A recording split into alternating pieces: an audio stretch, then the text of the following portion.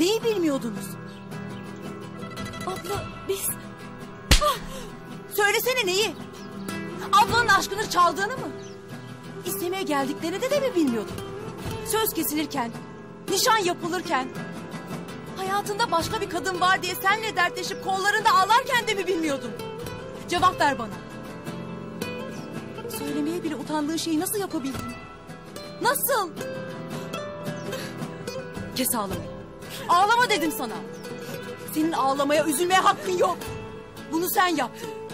Her şeyi sen başlattın. Her şeyimi aldın elimden. Daha ne istiyorsun? Affetmemi mi? Unutmamı mı? Yüzüme bak. Cevap ver bana. Üzgünüm abla. Çok üzgünüm. İnan bana biz de çok acı çektik. Her gün ayrı bir işkenceydi. Güzel olmuşsun. Teşekkür ederim. Sonunda oldu. Yağmur.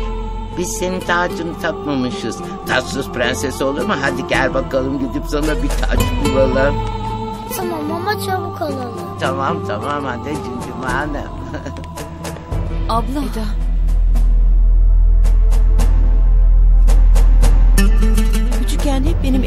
evlenip gideceğimden korkardın hatırlıyor musun? Evet. Bazen dua ederdim ablam hiç evlenmesin.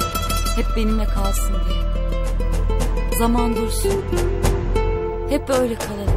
Hiç ayrılmayalım. Durdu zaten. Hiç ayrılmadık ki. Sana olan sevgim hep aynı yerde kaldı. Kalbimde. Benim de abla. Benim de.